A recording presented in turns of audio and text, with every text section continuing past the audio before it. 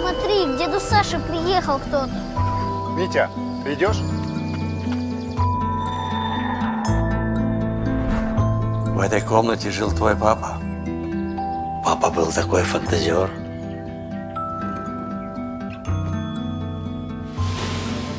Дорогой читатель, ты держишь в руках непростую книгу. На ее страницах можно найти путь в волшебную страну.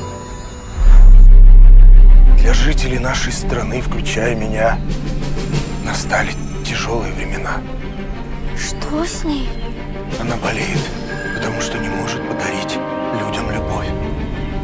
Вам необходимо попасть во дворец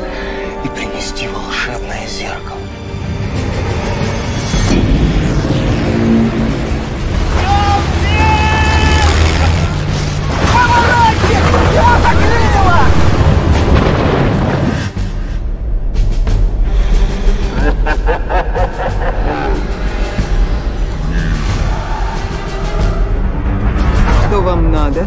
Мы пришли, чтобы взять у вас зеркало. Много было таких, как вы. И все они теперь здесь. Никогда бы не подумал, что в Феодосии можно заблудиться. Счастье. Уметь мечтать, верить и любить. Довольно! Страна мечты должна быть уничтожена!